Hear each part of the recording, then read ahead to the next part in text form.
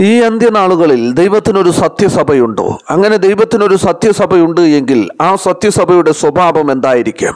നമുക്കെങ്ങനെ സത്യസഭയെയും അസത്യസഭയെയും തമ്മിൽ തിരിച്ചറിയാനാകാം? ഈ വീഡിയോയിലൂടെ വെളിപ്പാട് പുസ്തകം അതിന്റെ ലക്ഷ്യത്തിലേക്ക് എങ്ങനെയാണ് സഞ്ചരിക്കുന്നത് എന്ന് നമുക്ക് നോക്കാം. Hi this is pastor Mahesh തിരുവചന സത്യങ്ങളെ അന്വേഷിക്കുന്ന സീക്ക് ഇൻ ട്രൂത്ത് എന്ന ഈ ചാനലിലേക്ക് നിങ്ങളേവരെയും സ്വാഗതം ചെയ്തുകൊള്ളുന്നു. ഈ ലോകത്ത് ജീവിച്ചിരിക്കുന്ന ജനങ്ങൾ തങ്ങളുടെ സമാധാനത്തിനും സന്തോഷത്തിനും വേണ്ടി പലതും ചെയ്യുന്നു. ഈ ലോകത്തു നിന്നും ലഭിക്കുന്ന അധികാരം പണം പ്രശസ്തി വിനോദങ്ങൾ അങ്ങനെ പലതിനെയും ജനങ്ങൾ ആശ്രയിക്കുന്നു അവരുടെ ജീവിതത്തിൽ സന്തോഷം ലഭിക്കുന്നതിന് വേണ്ടി. അങ്ങനെ പലതും ശ്രമിക്കുന്നുണ്ട് എങ്കിലും അതിലൊന്നും അവർക്കൊരു സംതൃപ്തി ലഭിക്കുന്നില്ല. അവരുടെ ഹൃദയം ഇപ്പോഴും ശൂന്യമായി തന്നെ കിടക്കുന്നു. ഇന്ന് ദൈവത്തിന്റെ സത്യത്തെ അന്വേഷിക്കുന്നതിനെ കുറിച്ച് തിരുവചനം എന്താണ് പറയുന്നത്? തിരുവചന അടിസ്ഥാനത്തിലുള്ള ദൈവത്തിന്റെ ഒരു സത്യസഭ ഇന്ന് ഈ ഭൂമുഖത്തുണ്ടോ? സത്യസന്ധരായ അനേകം ക്രിസ്ത്യാനികൾ അങ്ങനെ ഒരു സഭയ്ക്കായി വെമ്പൽ കൊള്ളുന്നു. അവരുടെ വിശപ്പ് എന്നത് ഈ സത്യസഭയ്ക്ക് വേണ്ടിയാണ്. ബൈബിളിൽ വിശ്വസിക്കുന്നവർക്കാണ് ആ വിശപ്പുള്ളത്. ക്രിസ്തുവിന്റെ സത്യത്തിൽ ജീവിക്കുന്നതിന് വേണ്ടിയാണ് ആ വിശപ്പ്. ദൈവവചനത്തിൽ അധിഷ്ഠിതമായ ഒരു ജീവിതം നയിക്കുന്നതിന് വേണ്ടിയാണ് ആ വിശപ്പ്. ഈ സ്വഭാവമുള്ളവർ പറയും തിരുവചനത്തിലുള്ളതാണ് എങ്കിൽ നമുക്കത് വേണം. തിരുവചനത്തിലുള്ളതല്ല എങ്കിൽ നമുക്കത് വേണ്ട എന്ന്. ഭൗതിക വസ്തുക്കൾ ദീർഘകാലം നമുക്ക് സംതൃപ്തി നൽകുന്നില്ല. ആനന്ദം ദീർഘകാലം നമുക്ക് സംതൃപ്തി നൽകുന്നില്ല. വിനോദങ്ങൾ ദീർഘകാലം നമുക്ക് സംതൃപ്തി നൽകുന്നില്ല. സാങ്കേതിക വിദ്യകൾ നമുക്ക് ദീർഘകാലം സംതൃപ്തി നൽകുന്നില്ല.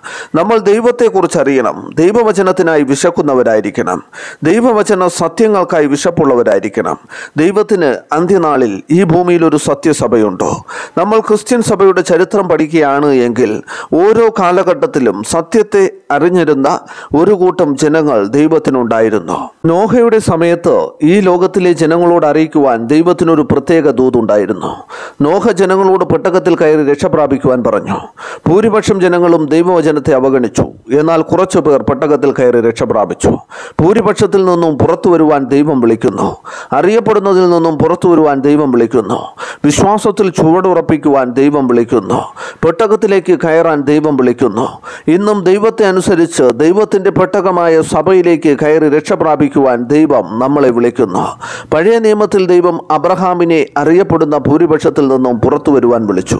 ഉൽപ്പത്തി പുസ്തകം ഇരുപത്തിയാറാം അധ്യായം അതിന്റെ രണ്ടാമത്തെ വാക്യം യഹോവ അവന് പ്രത്യക്ഷനായി അരുളി ചെയ്തതെന്നാൽ നീ മിസ്രൈമിലേക്ക് പോകരുത്. ഞാൻ നിന്നോട് കൽപ്പിക്കുന്ന ദേശത്ത് പാർക്ക.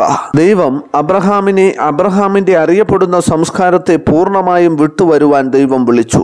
ഉൽപ്പത്തി പുസ്തകം ഇരുപത്തിയാറാം അധ്യായം അതിന്റെ അഞ്ചാമത്തെ വാക്യം ഞാൻ നിന്റെ സന്തതിയെ ആകാശത്തിലെ നക്ഷത്രങ്ങളെ പോലെ വർദ്ധിപ്പിച്ച് നിന്റെ സന്തതിക്ക് ഈ ദേശമൊക്കെയും കൊടുക്കും. നിന്റെ സന്തതി മുഖാന്തരം ഭൂമിയിലെ സകല ജാതികളും അനുഗ്രഹിക്കപ്പെട്ടിരിക്കും. ദൈവം ദൈവജനത്തെ നയിക്കാനും ദൈവകൽപ്പനകൾ അനുസരിക്കുന്നതിനുമായി മോശയെ വിളിച്ചു. പ്രാചീന കാലത്ത് ദൈവം വിശ്വസ്തരായ അനുസരണമുള്ള ഒരു കൂട്ടം ജനം ആയിരിക്കുവാൻ ഇസ്രയേൽ ജനങ്ങളെ വിളിച്ചു. ആവർത്തന പുസ്തകം പതിനൊന്നാമധ്യം അതിന്റെ ഒന്നാമത്തെ വാക്യം. ആകയാൽ നിന്റെ ദൈവമായ യഹോവയെ നീ സ്നേഹിച്ച് അവന്റെ പ്രമാണവും ചട്ടങ്ങളും വിധികളും കൽപ്പനകളും എല്ലായ്പ്പോഴും പ്രമാണിക്കണം നോഹയുടെ സമയത്ത് ദൈവത്തെ സ്നേഹിച്ച് ദൈവകൽപ്പനകൾ അനുസരിച്ച ദൈവജനം പെട്ടകത്തിനകത്ത് ഉണ്ടായിരുന്നു. അബ്രഹാമിന്റെ സമയത്തും ദൈവത്തെ സ്നേഹിച്ച് ഭൂരിപക്ഷത്തു നിന്നും പുറത്തു വന്ന വിശ്വസ്തരായ ജനങ്ങൾ ഉണ്ടായിരുന്നു. പ്രാചീന ഇസ്രയേൽ ജനങ്ങളും ദൈവത്തെ സ്നേഹിച്ച് ദൈവകൽപ്പനകൾ അനുസരിച്ചിരുന്നു. ദൈവം അവരെ വിളിച്ചിരുന്നത് ദൈവം തിരഞ്ഞെടുത്ത ദൈവത്തിന്റെ പ്രത്യേക ജനമെന്നാണ് പുതിയ നിയമപുസ്തകത്തിൽ പത്രോസ് അപ്പോസ്തലൻ ശക്തമായി പ്രസംഗിച്ചപ്പോൾ പെന്തക്കോസ്തു നാളിൽ മൂവായിരം പേർ സ്നാനമേറ്റു. അവർ സ്നാനമേറ്റ് ദൈവത്തിന്റെ പ്രത്യേക ജനമായി ദൈവകൽപ്പനകൾ അനുസരിച്ചു പോന്നു. ഒന്ന് പത്രോസിന്റെ ലേഖനം രണ്ടാം അധ്യയം അതിന്റെ ഒൻപതാമത്തെ വാക്യം. നിങ്ങളോ അന്ധകാരത്തിൽ നിന്നും തന്റെ അത്ഭുത പ്രകാശത്തിലേക്ക് നിങ്ങളെ വിളിച്ചവന്റെ സദ്ഗുണങ്ങളെ ഘോഷിപ്പാൻ തക്കവണ്ണം തിരഞ്ഞെടുത്ത ഒരു ജാതിയും രാജകീയ പുരോഹിത വർഗവും വിശുദ്ധ വംശവും സ്വന്തം ജനവും ആകുന്നു.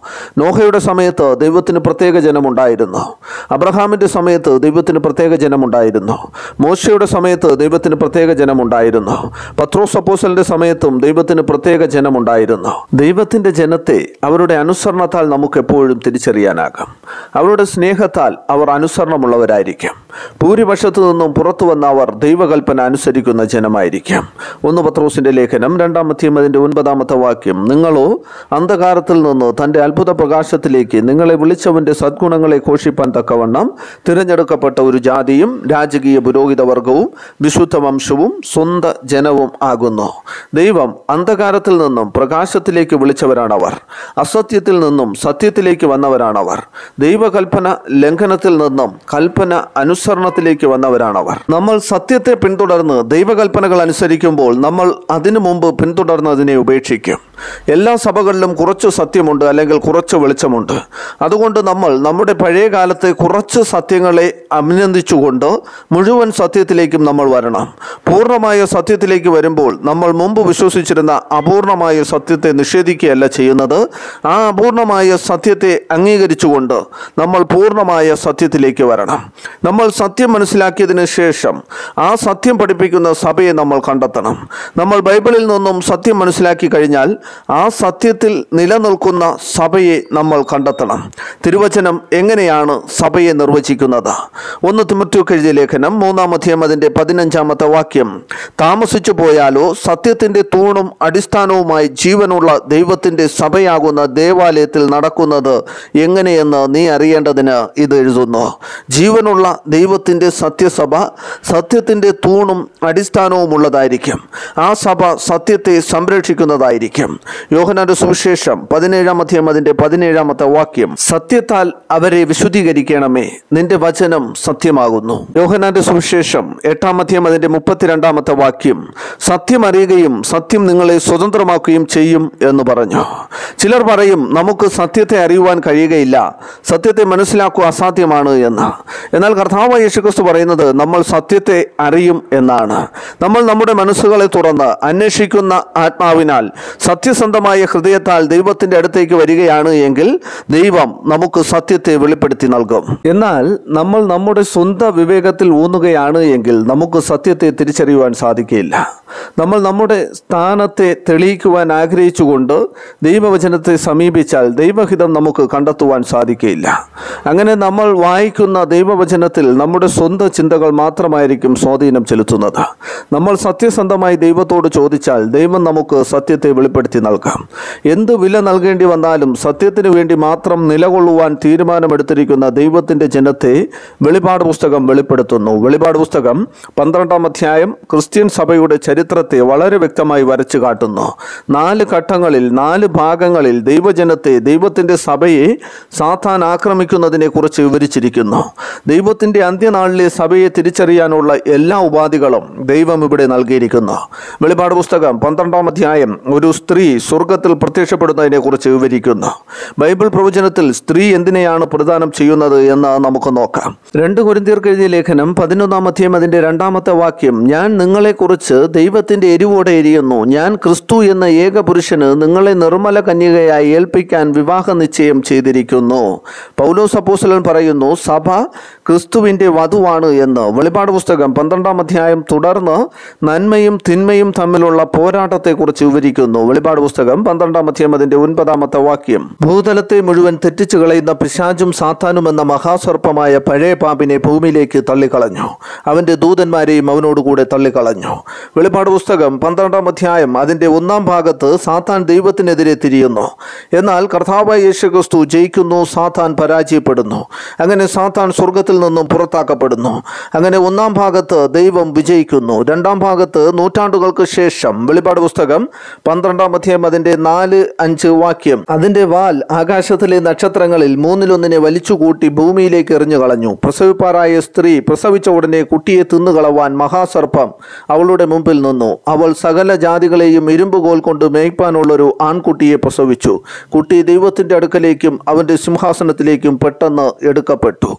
സാത്താൻ കർത്താവ് യേശുക്രിസ്തുവിനെ നശിപ്പിക്കാനായി ലക്ഷ്യമിടുന്നു. സാത്താൻ ഹേരോദ രാജാവിലൂടെ കർത്താവ് യേശുക്രിസ്തുവിനെ കൊല്ലാൻ ശ്രമിക്കുന്നു. എന്നാൽ വെളിപാട് പുസ്തകം പന്ത്രണ്ടാം അധ്യയം അതിന്റെ അഞ്ചാമത്തെ വാക്യം ഇപ്രകാരം പറയുന്നു അവൾ സകല ജാതികളെയും ഇരുമ്പുകോൽ കൊണ്ട് മേപ്പാനുള്ളൊരു ആൺകുട്ടിയെ പ്രസവിച്ചു. കുട്ടി ദൈവത്തിന്റെ അടുക്കലേക്ക് അവന്റെ സിംഹാസനത്തിലേക്ക് പെട്ടെന്ന് എടുക്കപ്പെട്ടു. എന്നാൽ കർത്താവ് യേശുക്രിസ്തുവിനെയും കൊണ്ട് മറിയയും ജോസഫും മിശ്രമിലേക്ക് പോകുന്നു. സാത്താന് കർത്താവ് യേശുക്രിസ്തുവിനെ നശിപ്പിക്കുവാൻ കഴിഞ്ഞില്ല. വർഷങ്ങൾക്ക് ശേഷം സാത്താൻ മരുഭൂമിയിൽ വെച്ച് കർത്താവ് യേശുക്രിസ്തുവിനെ കീഴടക്കാൻ ശ്രമിച്ചു. എന്നാൽ ദൈവവചനത്താൽ അവിടെയും കർത്താവ് യേശുക്രിസ്തു വിജയിച്ചു. സാത്താൻ പരാജയപ്പെട്ടു. ക്രൂശിലും സാത്താൻ കർത്താവായ യേശുക്രിസ്തുവിനെ തകർക്കാൻ ശ്രമിച്ചു. എന്നാൽ കർത്താവായ യേശുക്രിസ്തു ക്രിസ്തുവിന്റെ ജീവനെ പിതാവിലേക്ക് സമർപ്പിച്ചുകൊണ്ട് സാത്താനെ പരാജയപ്പെടുത്തി. ക്രിസ്തു മരിച്ചു അടക്കപ്പെട്ടു. ക്രിസ്തുവിനെ കല്ലറയിൽ സാത്താൻ തകർക്കാൻ ശ്രമിച്ചു. എന്നാൽ ഇവിടെ പറയുന്നു വെളിപാട് പുസ്തകം പന്ത്രണ്ടാം അധ്യായം അതിന്റെ അഞ്ചാമത്തെ വാക്യം കുട്ടി ദൈവത്തിന്റെ അടുക്കലേക്കും അവന്റെ സിംഹാസനത്തിലേക്കും പെട്ടെന്ന് എടുക്കപ്പെട്ടു. എന്നാൽ കർത്താവായ യേശുക്രിസ്തു ക്രിസ്തുവിന്റെ ദൗത്യം പൂർത്തീകരിച്ച് സ്വർഗത്തിലേക്ക് പോയി. രണ്ടാം ഭാഗത്ത് സാത്താൻ കർത്താവായ യേശു ക്രിസ്തുവിനെ നശിപ്പിക്കുവാൻ ശ്രമിച്ചു. എന്നാൽ സാത്താൻ പരാജയപ്പെട്ടു കർത്താവ് യേശുക്രിസ്തു വിജയിച്ചു. ദൈവം രക്ഷ പ്രദാനം ചെയ്തു. എന്നാൽ മൂന്നാം ഭാഗത്ത് സാത്താൻ കോപത്തോടെ ക്രിസ്തുവിനെ പിന്തുടരുന്നവരുടെ നേരെ തിരിഞ്ഞു. ക്രിസ്തുവിന്റെ ഓരോ ശിഷ്യന്മാരെയും സാത്താൻ രക്തസാക്ഷികളായി തീർത്തു. സാത്താൻ ദൈവസഭയെ ആക്രമിക്കുവാൻ തുടങ്ങി. കോൺസ്റ്റന്റൈൻ ചക്രവർത്തിയുടെ സമയത്ത് സഭയും രാഷ്ട്രവും തമ്മിൽ ഒത്തുചേർന്നു. സഭ രാഷ്ട്രം നൽകുന്ന ഉപകാരങ്ങളിൽ സന്തുഷ്ടരായിരുന്നു.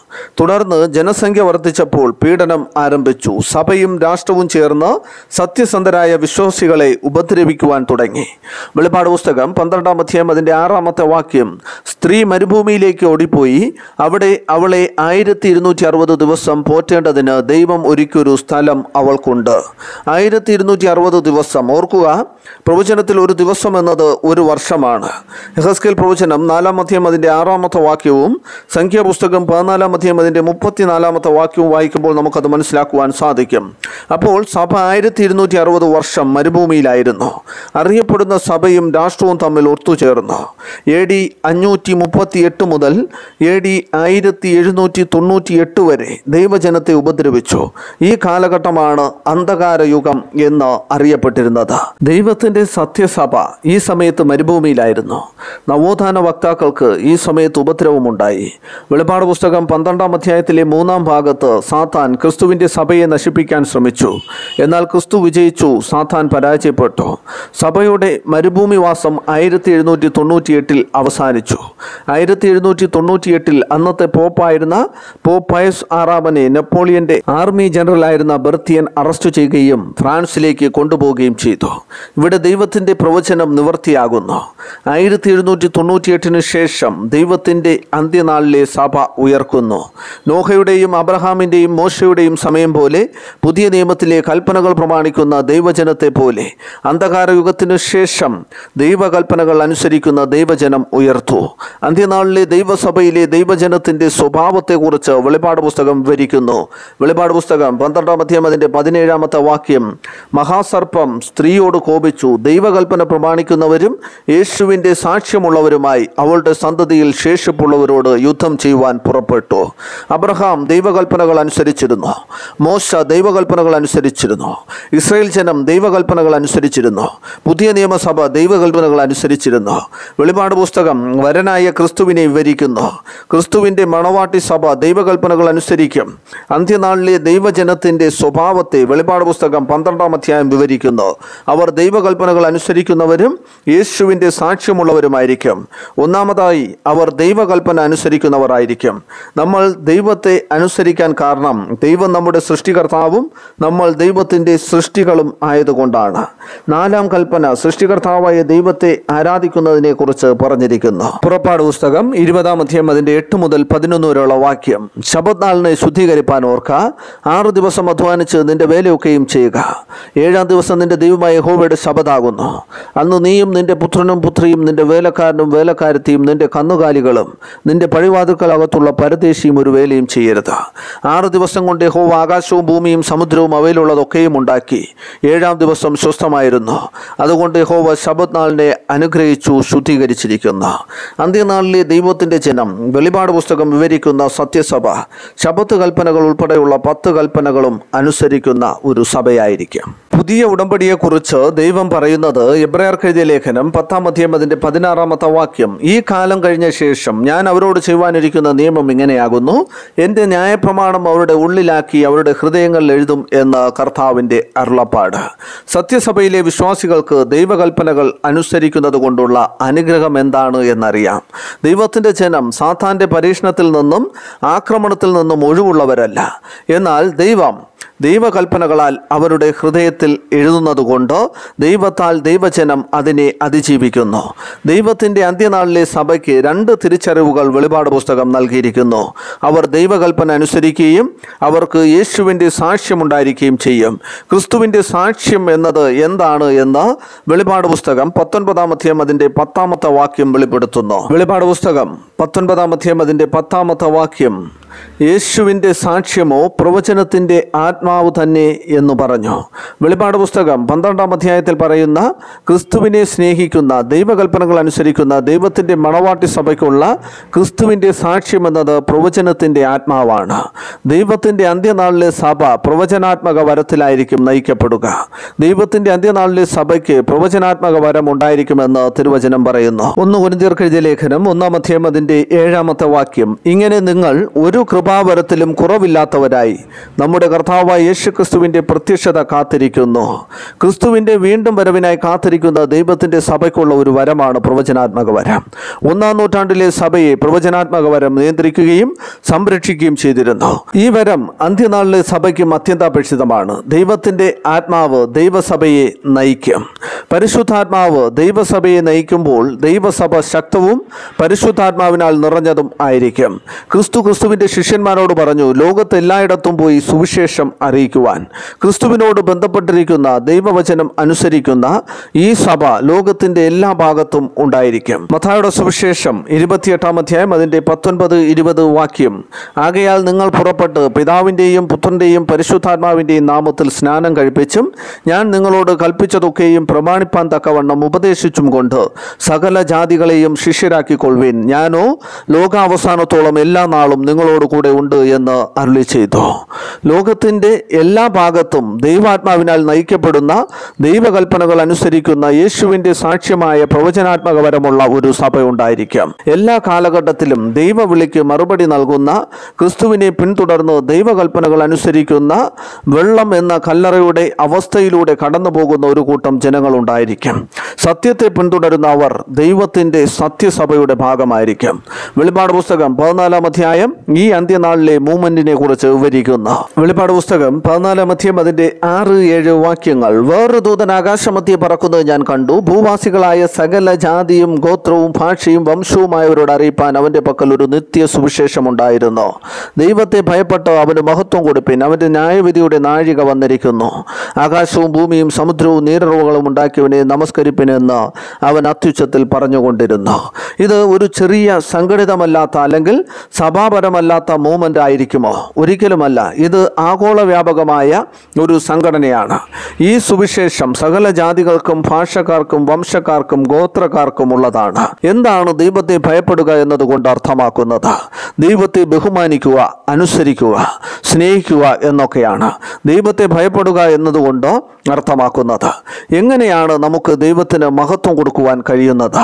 നമ്മുടെ ജീവിത ശൈലിയിലൂടെ നമ്മൾ മറ്റുള്ളവർക്ക് സാക്ഷ്യമാകുമ്പോഴാണ് ദൈവത്തിന് മഹത്വം കൊടുക്കുന്നു എന്നതുകൊണ്ട് അർത്ഥമാക്കുന്നത് ഒന്ന് കൊടുത്തീർക്കഴിഞ്ഞ ലേഖനം പത്താം അധ്യയം അതിന്റെ മുപ്പത്തി ഒന്നാമത്തെ വാക്യവും ആറാം അധ്യയം അതിന്റെ പത്തൊമ്പതാമത്തെ വാക്യവും വായിക്കുമ്പോൾ നമുക്കത് മനസ്സിലാക്കുവാൻ സാധിക്കാം. നമ്മൾ എന്ത് ഭക്ഷിച്ചാലും പാനം ചെയ്താലും അത് ദൈവത്തിന് മഹത്വം കൊടുക്കുന്നത് ആയിരിക്കണം. ഒന്ന് കൊടുത്തീർക്കഴിഞ്ഞ ലേഖന ആറാം അധ്യയം അതിന്റെ പത്തൊൻപത് ഇരുപത് വാക്യം. ദൈവത്തിന്റെ ദാനമായി നിങ്ങളിലിരിക്കുന്ന പരിശുദ്ധാത്മാവിന്റെ മന്ദിരമാകുന്നു നിങ്ങളുടെ ശരീരമെന്നും നിങ്ങളെ വിലയ്ക്ക് വാങ്ങിയിരിക്കിയാൽ നിങ്ങൾ താന്താങ്ങൾക്കുള്ളവരല്ല എന്നും അറിയുന്നില്ലയോ? ആകയാൽ നിങ്ങളുടെ ശരീരം കൊണ്ട് ദൈവത്തെ മഹത്വപ്പെടുത്തുവിൻ. എന്തുകൊണ്ടാണ് നമ്മൾ ഇത് ചെയ്യേണ്ടത്? കാരണം ദൈവത്തിന്റെ ന്യായവിധിയുടെ നാഴിക വന്നിരിക്കുന്നു. ദൂതൻ ആകാശമധ്യത്തിൽ പറക്കുന്ന ഈ മൂവ്മെന്റ് വളരെ വേഗത്തിൽ പൊയ്ക്കൊണ്ടിരിക്കുന്നതിനെ പ്രദാനം ചെയ്യുന്നു. നമ്മുടെ ഉത്തരവാദിത്വത്തിൽ നമ്മൾ കുറവ് കാണിച്ചാൽ മനുഷ്യരുമേലുള്ള ദൈവത്തിന്റെ അന്തിമ ദൂത് ഇപ്രകാരം പറയുന്നു ദൈവത്തിന്റെ ന്യായവിധിയുടെ നാഴിക വന്നിരിക്കുന്നു എന്ന്. ആ ദൂത് വീണ്ടും പറയുന്നു വെളിപാട് പുസ്തകം പതിനാലാം മധ്യം അതിന്റെ ഏഴാമത്തെ വാക്യം ദൈവത്തെ ഭയപ്പെട്ട് അവന് മഹത്വം കൊടുപ്പിൻ അവന്റെ ന്യായവിധിയുടെ നാഴിക വന്നിരിക്കുന്നു. ആകാശവും ഭൂമിയും സമുദ്രവും നീരുറവളും ഉണ്ടാക്കിയവനെ നമസ്കരിപ്പിനെന്ന് അവൻ അത്യുച്ചത്തിൽ പറഞ്ഞുകൊണ്ടിരുന്നു.